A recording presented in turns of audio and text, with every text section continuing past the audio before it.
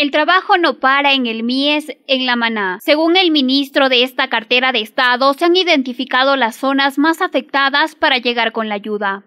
A compartir con ustedes, a entender realmente la crudeza de la realidad a la que nos hemos visto sometido por la época invernal, para hacer presencia conjuntamente con aduanas del Ecuador, a quienes agradezco públicamente también por ese esfuerzo permanente de buscar formas de articular y de esa forma institucionalizada para articular las donaciones y los apoyos que se vienen.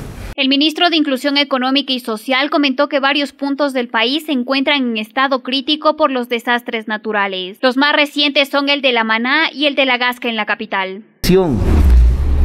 De el río Quindigua, que lamentablemente ha generado estimados alrededor de 300 núcleos familiares damnificados. Quizás el más alto de los siete puntos que acabamos de mencionar. A través de la aduana La Tacunga se destinará ayuda para los cuatro cantones afectados. Aspiran que no sea el único contingente que llegue a las familias damnificadas. Esta adjudicación gratuita que eh, representa uh, prendas de vestir, tanto nuevas como usadas, calzado, eh, para que puedan llegar a las zonas eh, afectadas, a las personas damnificadas que están necesitadas en este momento.